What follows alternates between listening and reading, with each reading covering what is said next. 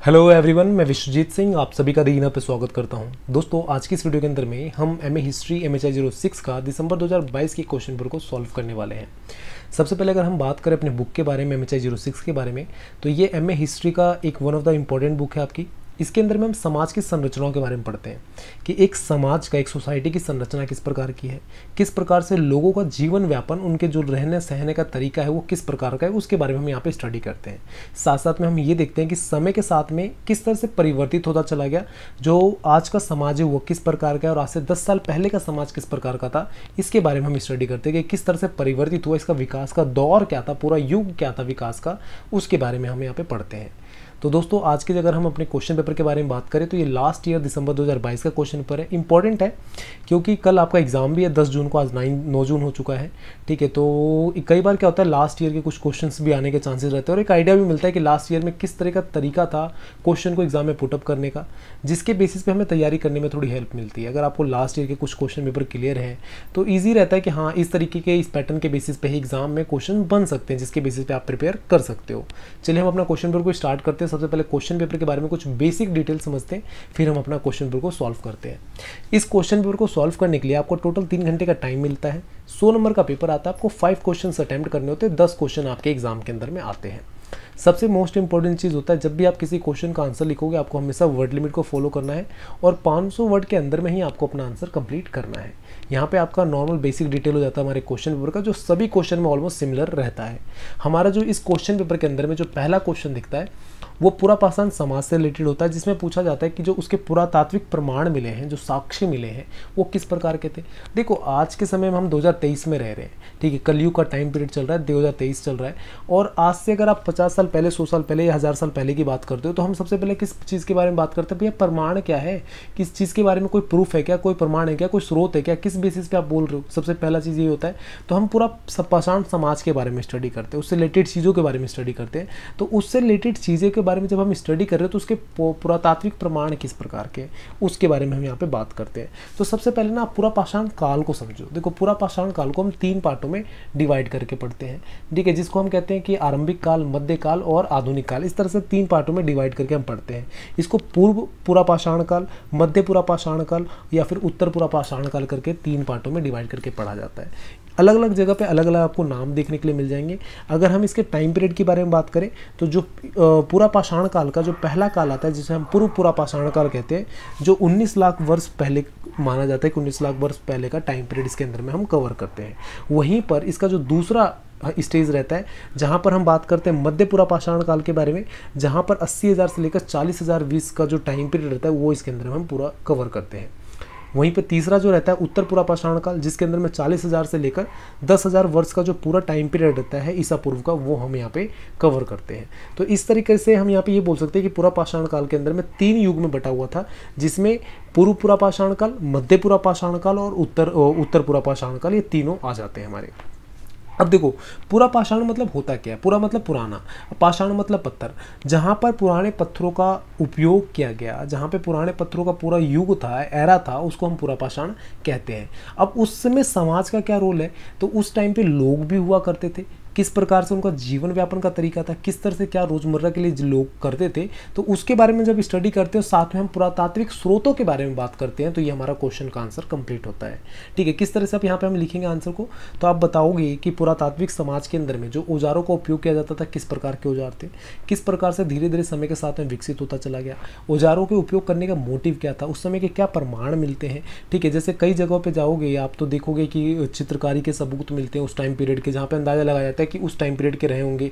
किस प्रकार से वो जीवन व्यापन करते थे, किस प्रकार से वो शिकार करते थे, कौन से जानवरों का शिकार करते थे, किस जानवर का कहाँ से हमें साक्ष्य मिले, जानवरों की हड्डियों से किस तरह से औज़ार बनाए जाते थे, ठीक है, पत्थरों के औज़ार किस तरह से परिवर्तित होते चले गए समय के साथ में, किस तरह से आधुनिक युग के अंदर में जो कांस्य युगित सभ्यता की बात करो या लोह युगित सभ्यता की बात करो, वहाँ पे औजारों के अंदर में किस प्रकार से परिवर्तन हुआ, उसके बारे में यहाँ पे हम स्टडी करते हैं और पूरा क्वेश्चन को आप इस तरीके से एक्सप्लेन करके बताओगे। इस क्वेश्चन के अंदर में जब भी आप आंसर लिखोगे, सबसे पहले आपको समझाना क्या है कि बुरा पाषाण होता क्या है। इसके तीनों स्टेज कौन से हैं, ये आप बताओगे। फिर उसके बाद आप यहाँ पे क्या बताओगे कि उसका रिलेशन किस प्रकार से पुरातात्विक प्रमाणों के साथ में आप प्रूफ करोगे, वो यहाँ पे डिफाइन करोगे। रिलेशन प्रूफ करने के लिए जो भी साक्ष्य मिले हैं, चाहे जानवरों की हड्डियों का यूज़ करके औज़ार बनाना, ठीक है, फ़सलों को उगाना, पशुओं को पालतू बनाना, ठीक है अलग अलग तरह के जो प्रमाण मिले उसके बेसिस पे आपको पूरा क्वेश्चन को एक्सप्लेन करना और बहुत अच्छे तरीके से यहाँ पे अगर अच्छे कैसे करते हो एक्सप्लेन करते हो वर्ड लिमिट को फॉलो करते हो तो नंबर कहीं नहीं जाते, अच्छे नंबर बन जाते हैं। ठीक है तो हमारा पहला क्वेश्चन यहाँ पे एंड होता है। सेकंड क्वेश्चन की ओर बढ़ते हैं। सेकंड क्वेश्चन के अंदर में हम बात करते हैं कि भारत में द्वितीय नगरण, नगरीकरण की प्रक्रिया की चर्चा कीजिए। अब देखो, दो स्टेज में नगरीकरण का स्टार्ट होता है, दो स्टेज में नगरीकरण हम यहाँ पे भारत के अंदर में देखते हैं। देखो, यहाँ पे ना एक क्वेश्चन और बनता है, दो स्टेज वाला, जो काफ़ी सारे बच्चे कन्फ्यूज़ होते हैं। स्टार्टिंग में जब इवन मैं भी जब पहली बार एम एच का एग्ज़ाम दे रहा था तो मैं भी इस क्वेश्चन के अंदर में कन्फ्यूज़ हुआ था। एक होता है कि दो स्टेज में नगरीकरण की सभ्यता को समझाइए। एक क्वेश्चन आता है कि दो स्टेज के अंदर में सामंतवाद की जो पूरी सभ्यता, उसको समझाइए। दोनों के अंदर में ज़मीन, आसमान का फ़र्क है। ठीक है, एक सामंत के वाद वाले क्वेश्चन के अंदर में ये भी बनता है कि किस प्रकार से सामंतवाद का इम्पैक्ट रहा नगरीकरण की सभ्यता के पतन की ओर, वो बताइए। ठीक है तो वो भी यहाँ पे अलग क्वेश्चन है, बिल्कुल ज़मीन आसमान का अंतर है। यहाँ पे हम सीधा बात कर रहे हैं कि नगरीकरण का विकास किस प्रकार से हुआ, नगर का विकास किस प्रकार से हुआ, शहरीकरण का विकास किस प्रकार से हुआ, ये यहाँ पे पूछा जाता है। तो देखो यहाँ पे गार्डन चाइल्ड के बारे में आपने पढ़ा होगा। जिसने गार्डन चाइल्ड कौन थे? चलिए देखते हैं कि कितने लोगों को पता है कि गार्डन चाइल्ड की जो पुस्तक लिखी गई थी, उसका नाम क्या था। ठीक है गार्डन चाइल्ड ने कौन सी पुस्तक लिखी थी? मैंने इनकी बायोग्राफी अलग से करवा रखा, दे इन पे। अगर कभी आपको टाइम मिले तो ज़रूर देखिएगा, आपको समझ में आएगा गार्डन चाइल्ड कौन थे। अगर हम गार्डन चाइल्ड के बारे में बात करते तो उन्होंने कुछ प्रमाण दिए कि जिसके बेसिस पे हम बता सकते हैं कि किस प्रकार से नगरीकरण हुआ और नगरीकरण के क्या साक्ष्य हैं। तो उन्होंने बोला कि कृषि मतलब कृषि विशेषज्ञ होंगे लोग, जहाँ पे कृषि के ऊपर लोग जाएँगे, ठीक है, घने समुच्चय स्थान पे लोग रहेंगे, जहाँ पे घनी आबादी वाले लोग रह सकते हैं, ठीक है, कराधान मतलब क्या, विशाल कपड़ों का वस्त्र धारण करेंगे, कपड़ों का संचय करेंगे, धन का संचय करेंगे, कराधान करेंगे, जहाँ पे कपड़े उपड़े, ये सारी चीज़ें धन को इकट्ठा करना, इनके ऊपर में वो ज़ोर देंगे।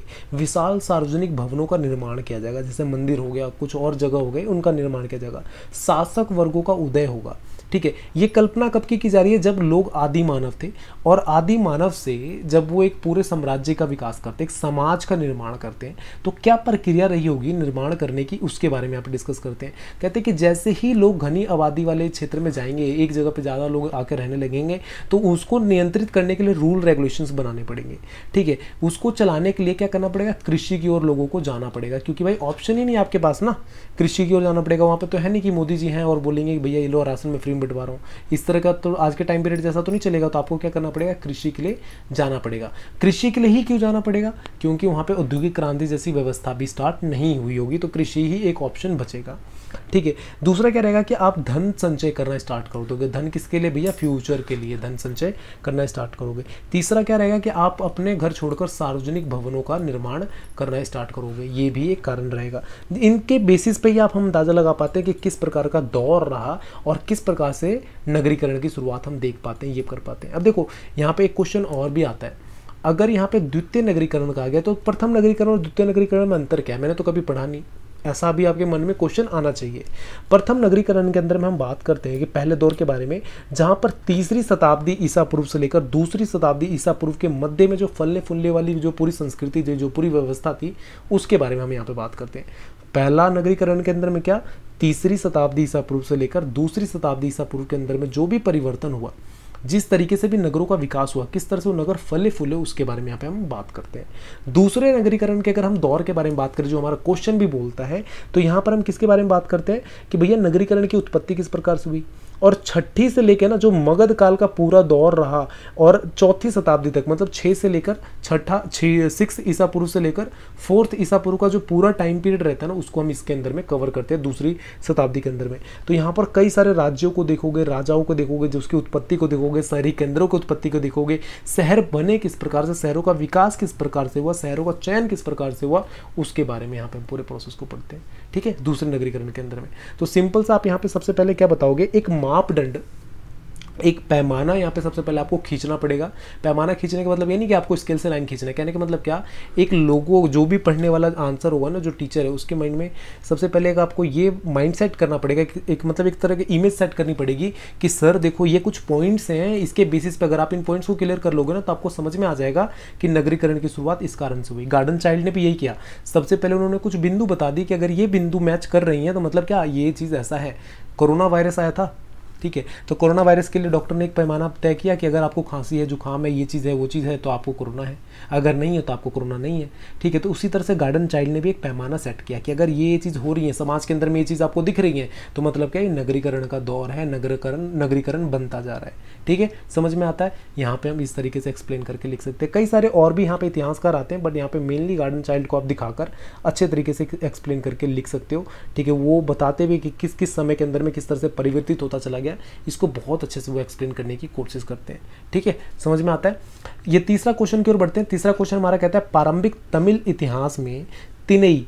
ये तिनई क्या होता है भैया? तिनई पता है क्या? तिनई ऐसे वर्ड जो है, आधे से ज़्यादा जो स्टूडेंट्स हैं, जिन्होंने ध्यान से अगर बुक नहीं पढ़ा है। उनको समझ में नहीं आने वाला है। ठीक है, तिनई का महत्व का विश्लेषण कीजिए। ये दिसंबर 2022 का क्वेश्चन पेपर है। जिस समय पे ये क्वेश्चन आया हुआ था, ये क्वेश्चन पेपर आया हुआ था तो बहुत सारे जो स्टूडेंट्स हैं, जिनसे मेरे डायरेक्टली इंस्ट्रक्शन होता था, बातचीत होती थी तो ऐसे बोल रहे थे कि, सर, ये तो क्वेश्चन समझ में नहीं आया, कभी पढ़ा ही नहीं। जो टॉपर भी थे ना बैच के, ठीक है, जिनको बहुत अच्छा नॉलेज था, जिनको प्राउड फील करते थे हाँ यार, ये सी ही ही सी इज़ द बेस्ट वन ठीक है, वो भी इस क्वेश्चन को छोड़कर आए थे। इसका रीज़न क्या था कि ये थोड़ा सा अलग टॉपिक के पे जाता है। नहीं मतलब क्या? तमिल भाषा के अंदर में एक ऐसी व्यवस्था थी, जब भी कभी भी किसी को पोएम लिखना हो, किसी को कविता लिखना हो, ठीक है, किसी को कोई रचना करना हो तो उसके लिए वो तिनई जैसे शब्दों का उपयोग करता था। तिनई को क्या मतलब क्या कि पाँच पार्टों में, तीन, तिनके के अंदर में बांटा गया था। तीन ही मतलब पाँच पार्ट में बांट कर जिसके अंदर में जिसके बेसिस पे हम किसी भी रचना को पूरा करते हैं। रचना मतलब ये नहीं कोई लड़की की बात नहीं कर रहे यहाँ पे हम मतलब किसी भी कविताओं को, किसी भी धारणाओं को, किसी भी आइडियोलॉजी को हम पूरा करते हैं। यहाँ पे आइडियोलॉजी राजनीतिक आइडियोलॉजी की बात नहीं कर रहे, कविता विता इनके बारे में बात कर रहे हैं। ठीक है पोएम के बारे में बात कर रहे हैं। अब देखो, तीन ही पाँच कौन कौन से होते हैं? तो ये जितने भी नाम बता रहा हूँ ना, ये सारे तमिल नेम है तो बोलने में कहीं पे गड़बड़ हो सकता है। तो एक बार अपनी बुक को ज़रूर खोल लें, जिसके बेसिस पे आपको आइडिया प्रॉपर मिले कि क्या है। सबसे पहला नाम आता है कुकी कुरी जी कुरी जी करके आता है जिसका मतलब होता है पर्वतीय क्षेत्र के बारे में जहाँ पे हम बात करते हैं। मूल्य के मतलब होता है चा, चारागाह क्षेत्र के बारे में जहाँ पे चराया जाता है। ठीक है मतरुम मतरुम मतलब होता है मरुतम मरुतम मतलब होता है नदी क्षेत्र, जहाँ पे नदी का जो आसपास का क्षेत्र है उसको मरुतम कहते हैं। नेताल मतलब क्या होता है? तटीय क्षेत्र। नेताल मतलब जहाँ पे तटीय क्षेत्र, जहाँ पे दूर दूर तक तो खाली क्षेत्र है, तटीय क्षेत्र। ठीक है? अब पले मतलब क्या होता है? शुष्क क्षेत्र। पले मतलब शुष्क क्षेत्र। ये सारे तमिल भाषा के शब्द हैं। ठीक है? जिसके बेसिस पे कविताएँ बनाई जाती है। अब देखो, तीने के अंदर में विशेषताएँ क्या बताई जाती है कि जब भी हम तीने कविता बनाते हैं तो हम किसके बारे में बात करते हैं? समय के बारे में बात करते हैं। ठीक है? मौसम के बारे में बात करते हैं। सुनहरा मौसम, आपने गाने वाने सुने होंगे ना? बहुत सारे पशु पक्षी के बारे में बात करते हैं चाँद सा रोशन, चेहरा, इस तरह से अलग अलग है ना? अलग अलग हम एग्ज़ाम्पल लेके चलते हैं, वनस्पतियों के बारे में बात करते हैं, व्यवसाय के बारे में बात करते हैं। उनके बेसिस पे हम यहाँ पे तीने का उपयोग करते हैं और मतलब इन कविताओं की धारणा करते हैं। तो किन चीज़ों का उपयोग किया जाता था? कैसे लेखक, जो राइटर होता था, रचना कैसे करता था? कविताओं की रचना किस तरीके से की जाती थी? कभी करते समय इन रचनाओं को कौन सा दृष्टिगत अवधारणा अपनाता था? उसके बारे में यहाँ पे टॉपिक्स बनते हैं। साथ साथ में तीन अथवा भूदृश्य अलग अलग जो क्षेत्र थे, जैसे कुंजी पर्वतीय क्षेत्र हो गए अलग अलग नामों का किस तरह से उपयोग होता था? समय, मध्य रात्रि, कौन से समय की बात कर रहा है? ठीक है मतलब एक तरह से मान लो डिक्शनरी जैसा ये पूरा टॉपिक है, जिसके अंदर में हर एक वर्ड का क्या मतलब बनता है, कविता धारण करते समय वो। एक स्टूडेंट को जब मैंने ये वाला टॉपिक समझाया तो सबसे पहला क्वेश्चन इसका रहता है कि, सर, मैं तो हिस्ट्री पढ़ रहा हूँ, यहाँ पे कविता वाला चैप्टर कहाँ से आ गया? कविता का क्या लेना देना मेरे टॉपिक से? तो यहाँ पे हम बात करते तमिल समाज के बारे में। तमिल समाज सबसे शिक्षित समाजों के अंदर में माना गया, जो उनकी भाषा थी, सबसे पौराणिक भाषाओं के अंदर में काउंट की गई। आपने कई बार प्रधानमंत्री को देखा होगा, जहाँ पे वो तमिल भाषा का उपयोग करते तमिल जो कोर्ट होते हैं, वहाँ के जो लीडर्स थे या फिर स्पिरिचुअल लीडर्स थे, उस स्पिरिचुअल लीडर्स उनके बारे में वो बात करते हैं कि किस तरीके से उन्होंने वर्क किया, उसके ऊपर में डिस्कस करते हैं। मेन रीज़न क्या है कि तमिल जो समाज है, वो बहुत विस्तृत समाज माना गया, ठीक है? उसके अंदर की जो सभ्यता थी, जो कल्चर था, वो बहुत ज़्यादा विस्तृत था, जिसके कारण से आज हम यहाँ पे इसके बारे में स्टडी करते हैं। उनकी जो संस्कृतियाँ थी, उनकी पूजा परंपरा जो थी, वीर पूजा परंपरा, वो बहुत ज़्यादा विस्तृत मानी जाती है, जिसके कारण से हम इस टॉपिक को पढ़ते हैं कविता को, जो क्या रोल था, ठीक है, तमिल पूजा में, वीर पूजा में, उसकी संस्कृति साहित्य का क्या रोल था, उसके बारे में हम स्टडी करते हैं। ठीक है, समझ में आता है? अगले क्वेश्चन की ओर बढ़ते हैं क्वेश्चन नंबर फोर जहाँ पे हम बात करते हैं प्रारंभिक मध्यकालीन भारतीय समाज में धर्म की भूमिका। अब भाई रिलीजन की इंपॉर्टेंस क्या है मध्यकालीन भारतीय समाज के अंदर में? ये भी एक इंपॉर्टेंट टॉपिक है। देखो, जब आप रिलीजन की बात करते हो ना तो रिलीजन क्या है? मतलब रिलीजन का मतलब क्या होता है कि मध्यकालीन संस्कृतियों में जो परिवेश है, उसका अलौकिक और पारालौकिक जो मध्य में विभाजन करता है ना, वो उसका अभाव को रिलीजन समझता है। ठीक है, रिलीजन समाज के अंदर में एकजुटता लाना और समाज के अंदर में मतभेद पैदा करना सबसे बड़ा काम रिलीजन का करता है। अगर रिलीजन है तो समाज को बाँध कर रख सकता है। ठीक है, लोग ना भले ही मान लो किसी की बहन बेटी के साथ कुछ हो रहा है, लोग भले ही ना बोले बट जहाँ पे बात रिलीजन की आती है ना तो वहाँ पे सबका मुँह खुलता है, सब बोलते हैं। ये तो टॉपिक से हटके था, वापस से टॉपिक पे आते हैं और समझते हैं। रिलीजन के लिए क्या माना गया कि हिंदू सांस्कृतिक परिवेश किस प्रकार से फैला हुआ? इनमें किन कौन कौन सी परंपराएँ सम्मिलित थी? ठीक है, स्थानीय परंपरा कौन कौन सी थे? ठीक है कौन कौन से पद पर किस तरह की चीज़ें की जाती थी वो? विद्वान और ब्राह्मणों का क्या मानना था? किस तरह से उनका प्रभाव रहा लोगों के ऊपर में? ठीक है, मंदिरों का निर्माण किस तरह से किया जा सकता था? उन धार्मिक कार्य को करने के लिए देवी देवताओं की भावनाओं को, परंपराओं को सम्मिलित करने के लिए किस तरह के कार्य किए जाते थे? ब्राह्मण द्वारा किस प्रकार से संपन्न कराए जाते थे? इसके बारे में भी यहाँ पे हम पढ़ते हैं। साथ साथ में हम पढ़ते हैं कि आत्मा की दुनिया का नैतिक, जो मतलब दैनिक जीवन सर्वत्र क्या है? मतलब जो बाबा वाले जो पूरी लैंग्वेज होती है ना, वो यहाँ पे बात करते हैं। आत्मा अमर है, ठीक है? आत्मा क्या है? मतलब एक डोर है, ठीक है? आत्मा परमात्मा क्या? एक डोर है, आपको आत्मा से परमात्मा से बांधती है। ठीक है? एक तरह से बाबा वाले आपको पूरी बातचीत यहाँ पर याद रखनी है जो समझ जाओगे। किसी भी बाबा को पकड़ के देख लेना, आपको बहुत ईजिली समझ में आएगा। खगोलीय प्राणी युद्ध के विजय दिलाते हैं, ठीक है? जैसे किसी बाबा से पूछो कि, बाबा, मैं युद्ध लड़ रहा हूँ, कैसे जीव विजय मिलेगी? तो बोलेगा, अपने मन की शक्ति से, दृढ़ शक्ति से आपको विजय मिलेगी। तो कहता है, खगोलीय प्राणी युद्ध में विजय दिलाते हैं। बस वही चीज़ है, सारे बाबा वाले। बट ये ना, मैं थोड़ा सा बस आपको समझाने के लिए बोल रहा हूँ। रियली, अगर इस टॉपिक को देखोगे तो समाज में क्या धर्म का रोल होता है importance of religion in society वो आपको समझ में आएगा, ठीक है? और इंपॉर्टेंट टॉपिक है। कई बार क्वेश्चन को घुमाकर पूछा जाता है, हमें समझ में नहीं आता और हम लिख नहीं पाते। मेनली आपको ये मानकर चलना है कि ब्राह्मणवादी संस्कृति का प्रचार प्रसार किस प्रकार से हुआ, ठीक है? किस तरह से जो विविधतापूर्ण संस्कृति है, उसका परिवेश किस तरह से समाज के अंदर में रहता है, उसके बारे में आपको बताना है। और बहुत ही इंपॉर्टेंट टॉपिक है। आज हमारे भारत के अंदर में, हिंदू, मुस्लिम, पता नहीं कितने सारे समाज के अंदर में, कई सारी जाति, संस्कृति और रिलीजन के लोग रहते हैं। एक साथ कैसे रह रहे हैं? किस प्रकार से वो विकास कर रहे हैं? उसके ऊपर कैसे वर्क कर रहे हैं? ठीक है, एक सोसाइटी के अंदर में कैसे रह रहे हैं? उनके बारे में हम बताते हैं। उनकी आइडियोलॉजीज कैसे टकराते हैं अलग अलग जगह पर कई बार होता है कि एक ही मंदिर में, जैसे आप जेरूसलम के बारे में पढ़ा होगा अपने मुस्लिम भी मानते हैं क्रिश्चियन भी मानते हैं, जो यहूदी है, वो भी मानते हैं तो किस तरह से वो सारा चीज़ें चलता है? आपस में तो लड़ रहे होते हैं। आप बोलोगे, सर, उनका एग्ज़ाम्पल तो दे रहे हो, पर वो तो आपस में एक दूसरे के जान के दुश्मन है। आपस में एक दूसरे को मार रहे हैं। बट कहने का मतलब वो कि किस तरीके से चलता है रिलीजन वो सोसाइटी का क्या पिलर की तरह काम करता है, वो इसके बारे में हम यहाँ पे डिस्कस करते हैं। ठीक है? क्वेश्चन नंबर फोर समझ में आता है? चार यहाँ पे क्वेश्चन हमारे कंप्लीट हुए। अगले क्वेश्चन की ओर बढ़ते हैं। Question number six question number fifth जो होता है आपका मतलब ये टिप्पणी बेस होता है तो आप इजीली कर सकते हो। उसमें तो कोई दिक्कत है नहीं और वेस्ट ऑफ़ टाइम वाले क्वेश्चन होते हैं, दस दस नंबर के आप कर सकते हो। क्वेश्चन नंबर सिक्स की हम बात करते हैं, फटाफट। क्वेश्चन नंबर सिक्स में हम बात करते हैं कि ग्राम में समुदाय के अंदर में पंच और पंच मुकदम की भूमिका क्या है? ये जितने भी टॉपिक्स आ रहे हैं ना, सारे तमिल से रिलेटेड हैं, ठीक है? अब देखो, पंच और पंच मुकदम होता क्या है? तो सबसे पहले ना, एक इतिहासकार आते हैं डेविड हेराल्ड एच नाम के हेराल्ड एच नाम के हेरोल्ड सॉरी हेरोल्ड एच नाम के एक इतिहासकार आते हैं, जिनका मानना था कि भारत का जो हृदय है ना, दिल, ठीक है? कहते हैं, दिल, भाई दिल। तो दिल कहाँ पर है? गाँव के अंदर में, ग्रामीण व्यवस्था के अंदर में दिल है। अगर ग्रामीण व्यवस्था आज नष्ट कर दी ना तो भारत मर जाएगा, ये मानना था डेविड हेराल्ड एच का। ठीक है हेराल एच का मानना था ये, कि भारत का जो दिल है ना, कहाँ बसता है? तो ग्राम के अंदर में बसता है, गाँव के अंदर में बसता है, ये मानना था। उनके अनुसार ये मानते थे कि इतिहास को समझने के लिए, इतिहास की जो विजय प्रणाली, शासन प्रणाली है राजकुमारों के अंदर में किस तरह से क्रामचारिक गुण रहने चाहिए, किस प्रकार से एक शासन प्रणाली विस्तृत होती है, उसके बारे में जानने के लिए निवासियों को तो मतलब किस तरह से जो शासन व्यवस्था के अंदर में चीज़ें चलती हैं उसके बारे में जानने के लिए, ठीक है, यहाँ पे क्या आता है कि गाँव के बारे में समझना ज़रूरी है, ये हेराल्ड का मानना था, हेरोल्ड का मानना था सॉरी अब देखो, पंच और पंच मुकदम क्या होता है? तो सोलहवीं शताब्दी के आरंभ में ना वृंदावन, ठीक है, दस्तावेज़ नामक समुदाय का खुलासा होता है, जहाँ पे पंच और पंच मुकदम के बारे में बात की जाती है। यहाँ पर कहा जाता है कि पंच एक निकाय था निकाय मतलब क्या एक समुदाय के तौर पर निकाय था जिसमें पंचायत जिसे हम कहते थे। पंच मतलब पंच लोग, पाँच लोगों का पंच। और पंच मुकदम मतलब क्या? जो मुकदमे चलते थे ना, पाँच लोगों के द्वारा सुलझाए जाते थे। आपने गाँव में सुना होगा ना, सरपंच। इसका सबसे बड़ा एग्ज़ाम्पल आज के समय में दूना में। तो आपने खाक पंचायत के बारे में सुना होगा? नहीं सुना? चलो मैं बता देता हूँ आपको। अभी रेसलर्स जो भी हमारे पहलवान हैं, उन सब का प्रोटेस्ट चल रहा है। किस चीज़ को लेकर? शोषण के विरुद्ध किस तरह से उसका शोषण हुआ, इसके विरुद्ध प्रोटेस्ट चल रहा है, उसके बारे में हमें बात नहीं करना। तो उन्होंने बोला कि हमारा जो लोकल जो खाक पंचायत है ना, जो हमारे गाँव की पंचायत है, अगर वो जो बोलेगी ना, हम उस फैसले को मान जाएँगे। हम सुप्रीम कोर्ट को बाद में जाएँगे, पहले हम उसके फैसले को देखेंगे, उसका वेट करेंगे।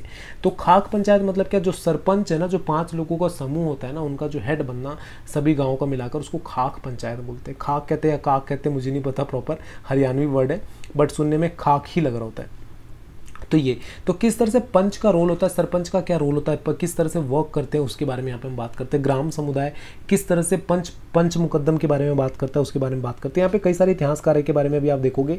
बेडन पालवेल का मत था कि भारतीय ग्राम समुदाय के अंदर में जो संयुक्त परिवार है, वो एक विस्तृत मात्र था। ठीक है मतलब विस्तारित मात्र था, वो छोटा सा दिखता है संयुक्त परिवार। और ये आपको ग्रामीण समाज के अंदर ही मिलेगा। आज हम शहर में रह रहे ना, कितने सारे आपको फैमिली ज्वाइंट फैमिली दिखेगी। और ज्वाइंट फैमिली मिलेगी ना तो ज़्यादा से ज़्यादा पाँच से छः लोगों का ही परिवार मिलेगा। मिलेगा बट अगर आज से आप पचास साल पहले जाओगे ना तो ज्वाइंट फैमिली का मंदिर तीस चालीस पचास परिवारों का रहता था। ठीक है तो ये चीज़ें दिखाने के लिए मिलती है। साथ साथ में इरफान हबीब जैसे इतिहासकार आते हैं जो कहते हैं वृंदावन दस्तावेज़ के अनुसार दो पे पं, दो पंच मतलब होते थे, दो पंच पितामह के तौर पे माने जाते थे।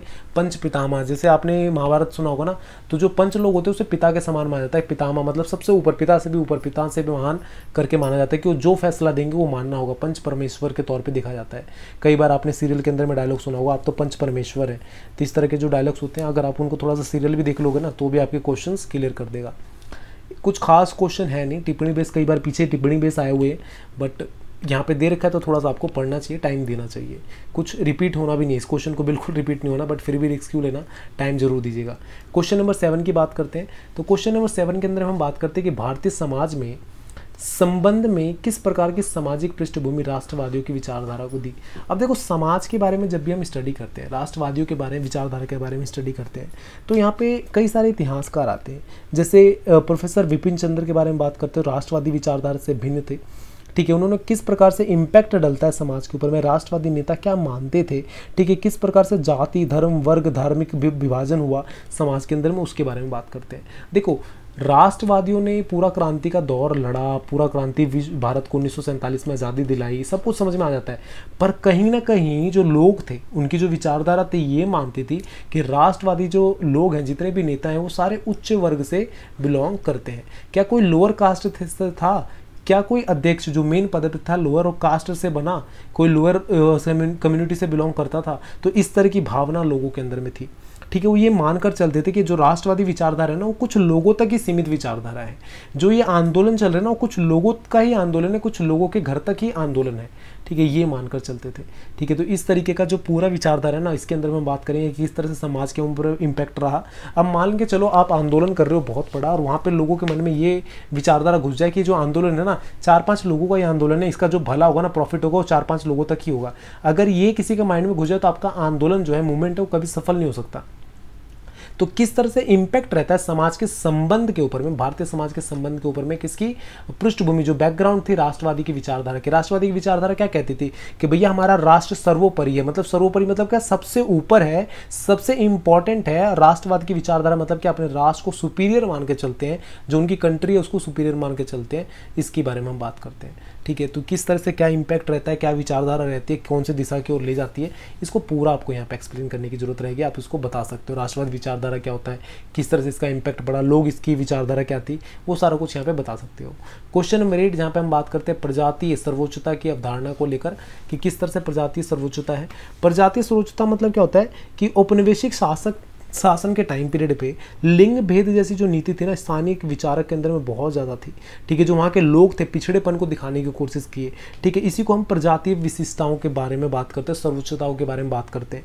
ठीक है लोग थे जैसे यूरोप के जो लोग थे Uh, कल मैंने एक स्टोरी सुना जिसके अंदर मैं बात करता है एक व्यक्ति होता है। आप अगर अनटचबिलिटी करके आपने कभी स्टोरी सुनी हो एक आपको एम ए इंग्लिश के अंदर में आपको मिल जाएगा स्टोरी ठीक है एम ए इंग्लिश के अंदर में एक पूरा लेसन है अनटचबिलिटी करके। ठीक है राइटर क्या है, मुझे याद नहीं है राइटर का नाम। उसके अंदर में क्या होता है कि एक व्यक्ति होता है जो गरीब समाज से मतलब निचले तबके से बिलोंग करता है, ठीक है, गरीब मतलब पिछड़े वर्ग से बिलोंग करता है। और वो अपर क्लास को जब देखता है तो वो देखता है कि हीन भावना उसके मन में आती है कि किस तरह के लोग हैं, किस तरह से वर्क कर रहे हैं, किस तरह का इम्पैक्ट पड़ रहा है सोसाइटी पे।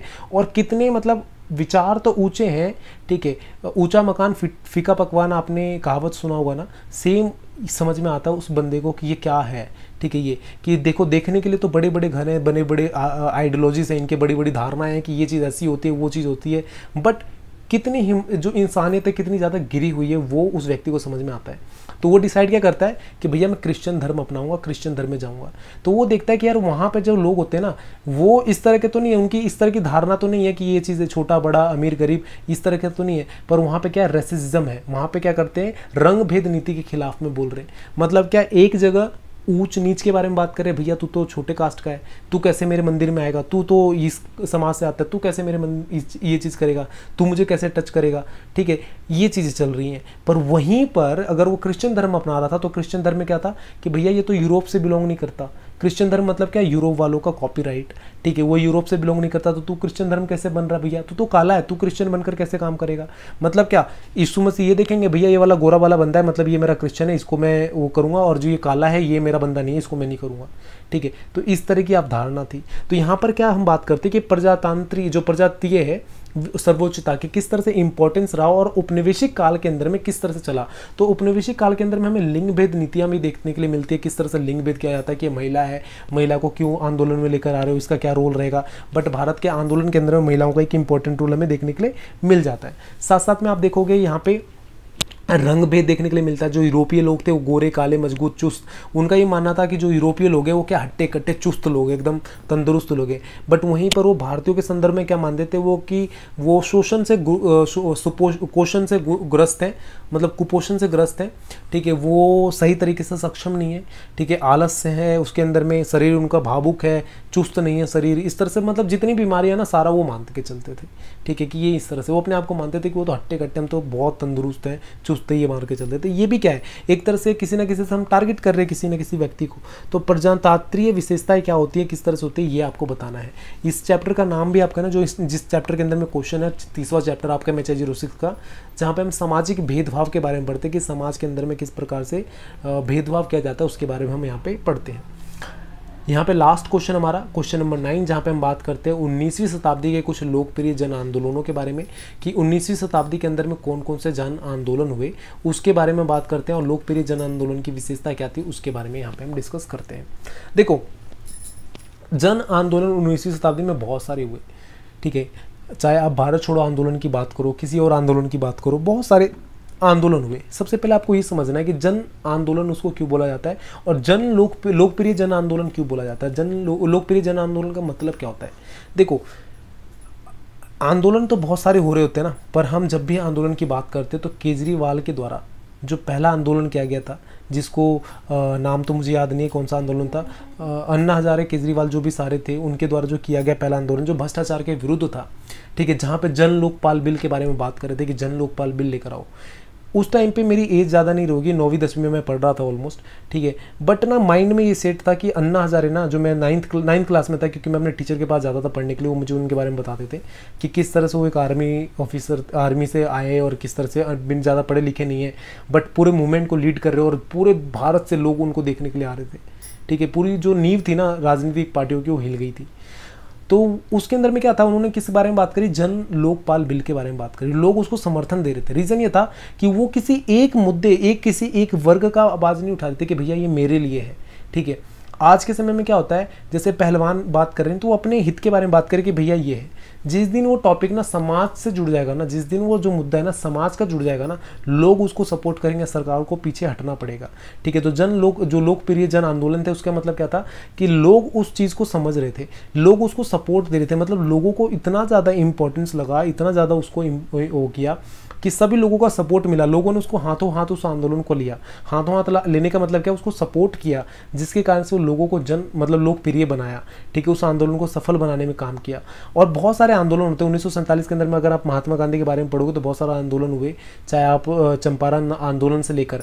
चंपारण आंदोलन जब पहली बार महात्मा गांधी के द्वारा किया गया, तब वहाँ पे समझ में आता है कि लोकप्रिय, जब लोग किसी चीज़ को एक्सेप्ट करते हैं, उसको आगे बढ़ाने की बात करते हैं तो कितना इंपॉर्टेंट रहता है पावर ऑफ़ द ह्यूमन क्या है? Power power of the crowd क्या है? वो समझ में आता है गांधी जी को और अंग्रेज़ों को भी समझ में आ जाता है कि what is the power of Mahatma Gandhi?